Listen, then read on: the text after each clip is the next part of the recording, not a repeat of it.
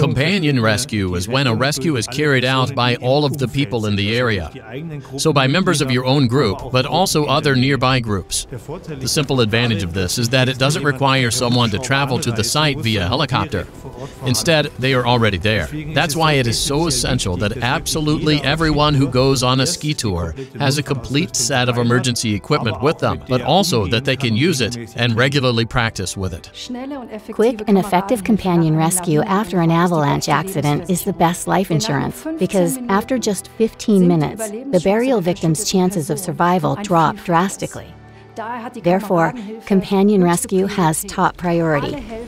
All helpers should have dug out all burial victims within the first 15 minutes.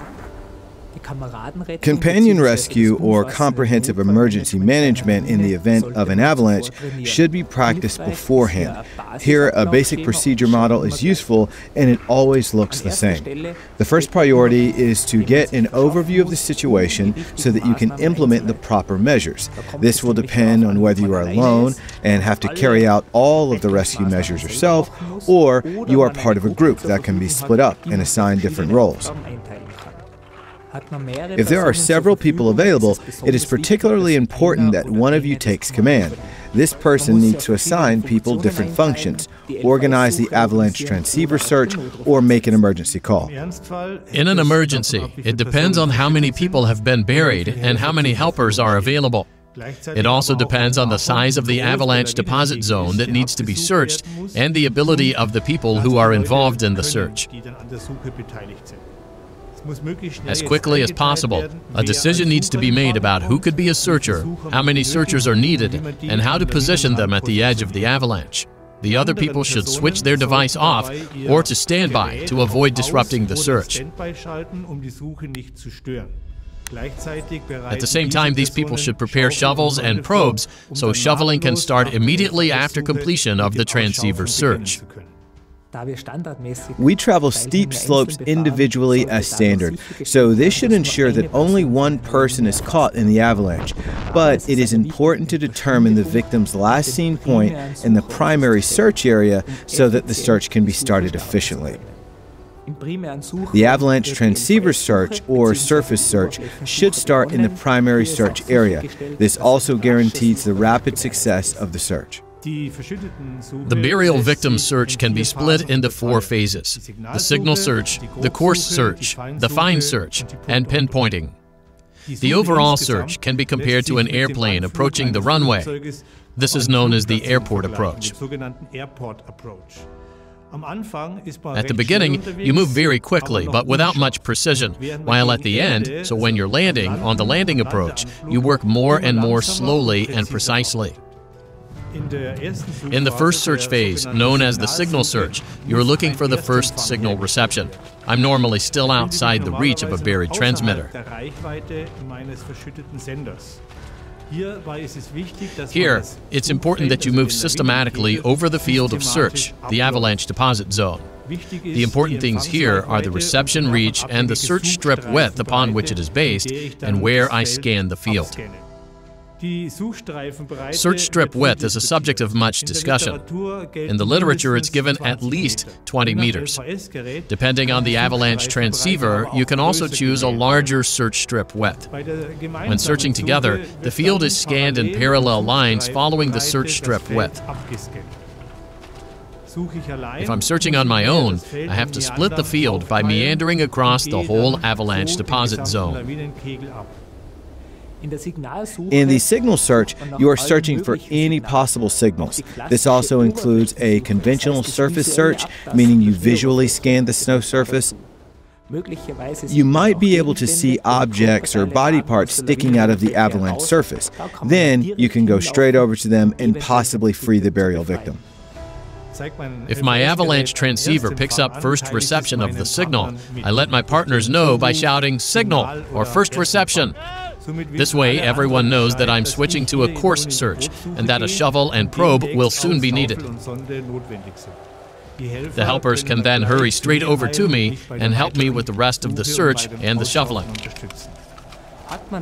Once you have the first reception, you switch to a coarse search. By following the direction and distance displays along the field line, you can continue toward the burial victim more rapidly. In the coarse search, you often approach the burial victim following a wide curve along the field line. Once the signal search is done, meaning my device is receiving a constant signal that is being shown as a directional arrow and distance display, it is important to really watch the display. The first thing to do is follow the arrow while also making sure that I'm moving in the right direction, meaning that the distance on the display is decreasing. Once I have determined this, I can pick up the pace again and move along the field line, following the arrow to get closer to the victim. When doing this, I should keep checking the distance display. Once I hit 10 meters, I should significantly reduce my search speed. Following the airport approach, I must work more slowly and precisely the closer I get. This means that by the time I reach 10 meters, I'm really only walking and no longer running. And that when I hit 3 meters at the latest, I lower the device down to the snow surface. This marks the end of the coarse search and the beginning of the next search phase, the fine search. Right away in the fine search, you should be looking only at the distance display. You make sure not to rotate the device and to move it at a consistent height directly above the snow surface. When doing this, it is important that you move the avalanche transceiver past the point of closest distance, then back to the point of closest distance, and then to the right and left to find the point that is ultimately the closest. In the fine search, you make a cross, so to speak, over the closest distance to determine the point where pinpointing will begin. In the fine search, you shouldn't lose time unnecessarily, so only go over each axis once with your avalanche transceiver. The suspected location can be a little inexact because it is often significantly faster to determine the exact location using a probe. Once the closest distance has been determined, it is marked using a headband, glove, or beanie. If several people are involved in the rescue, one of your companions should pass you the probe and you can immediately begin pinpointing the victim. If you're alone, you take your shovel and probe out of your backpack at this point. You should then put your backpack on your back again. When pinpointing, the first probe should be inserted directly by the mark you made, then in a grid formation out from that point at intervals of 25 to 30 centimeters. This is about the length of a boot. If you unfortunately have several burial victims in an avalanche accident, it depends whether you're alone or whether several rescuers are available.